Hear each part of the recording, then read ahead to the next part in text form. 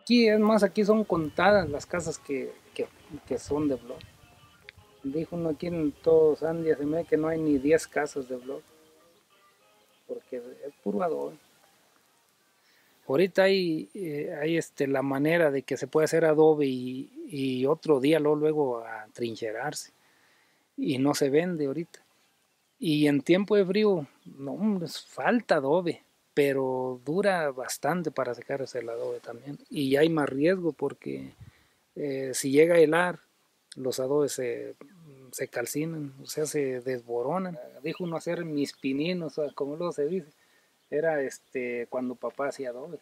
Él hacía adobes, entonces yo estaba en la primaria y, salía a las 2 de la tarde, antes salían a las 2 de la tarde de la escuela. Y a esa hora nomás llegaba y, comía yo y le iba a dejar loncha mi papá. Y este, pero más antes, pues ellos sí trabajaban de sol a sol, hasta que ya no se miraban. Y yo iba a dejarle la comida, en lo que él comía, pues yo empecé a agarrar ahí el lodo, como a los seis años, empecé ahí a agarrar, a tratar de hacer, pues me quedaban todos gruesos y delgados y en parte le echaba mucha agua al lodo. Papá había estado malo por tanto adobe que hacía y el sol que le pegaba. Entonces yo empecé, dije, bueno, pues cómo le haré para protegerme del sol también.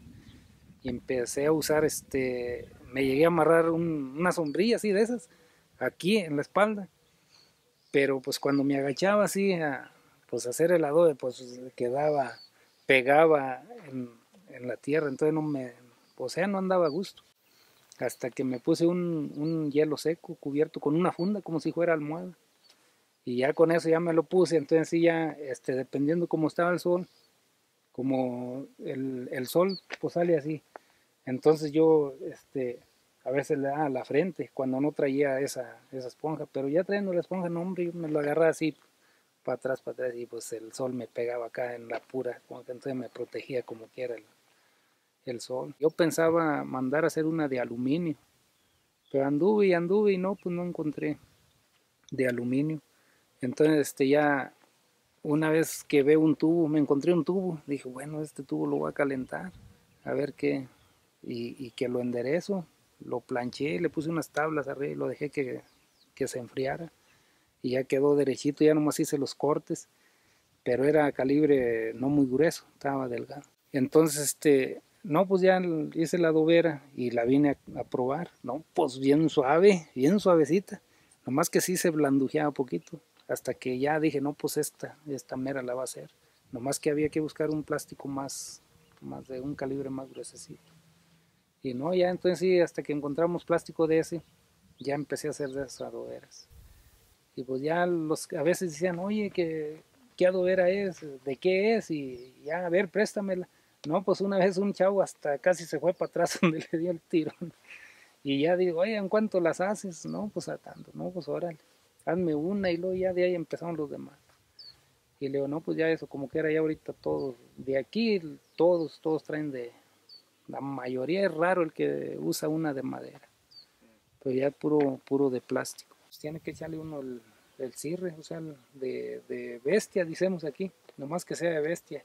Y, pero últimamente estamos usando nomás que, que sea de cirre cualquier animal, nomás que traiga paja, lo que es pajita, porque la paja es la que le, le ayuda. Dice papá que lo, lógico para un buen adobe, dice, es este una carretilla de, de cierre para unos 50 dólares. Una carretilla bien llena, de unos 25 años para acá. La comercial, la comercial siempre ha sido ya la de 32 de largo por 22 de ancho y 9 centímetros de altura. Ya, este, ya que está tendido el adobe, ya queda a punto otro día uno viene con cuchilla, una guaparra, a limpiarlo y, ya lo deja uno así o ese mismo rato lo, lo atrinchera uno. Cuando me puse ya esa, esa, este, ese hielo seco acá con esa funda, pues aquí traía los ganchos para metérmelo y este y pasaban de repente porque antes hacía adobes allá en la entrada y pasa gente y ese pipila, no me lo quitaré o no me lo quitaré. no, dije, no, pues qué me interesa que digan lo que digan, yo, yo me ando protegiendo. Y ya después empezaron ahí, no, ya como, ah, el primo donde fuimos ahorita. Dice, no, primo, yo también ya me hice mi cuadro, y ya lo traigo, ya me copié y ya y empezaron otros. Como decía mi abuelito, nunca le dé la espalda al sol porque el sol sí está... Digo, si los animales también así a veces eh, están de frente, si no tienen sombras están agachados, pero frente al sol, dándole la frente, le digo, no, pues sí. Y le digo, pues más que, más que los viejos de antes, pues eran más inteligentes que uno todavía.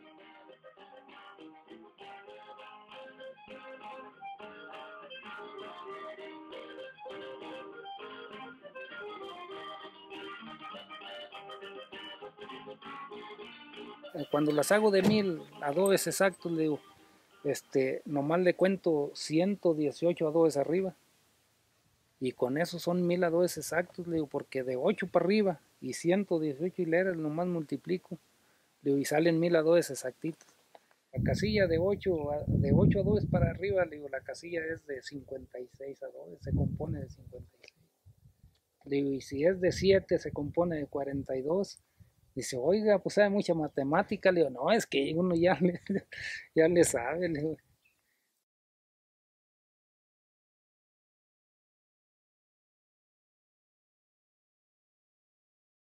Yo llegué a hacer hasta 350 dólares diarios, pero cuando estaba más nuevo, tendría algunos 25 años.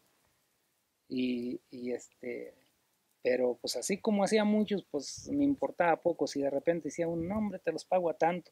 Y decían, no, pues que al cabo yo los hago de volar. Pero pues con el tiempo uno ya, ya, no, ya no es lo mismo. Esto es para emparejar, por decir, si, si aquí voy a tirar adobe, para, que no levante, porque si pongo la, el molde ahí, así como está, levanta bastante tierra de ahí. Entonces uno tiene que hacer esto, que quede polvosito.